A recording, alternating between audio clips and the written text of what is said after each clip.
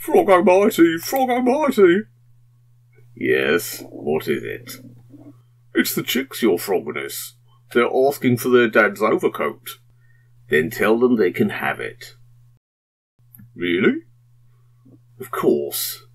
As long as they run a little errand for me first.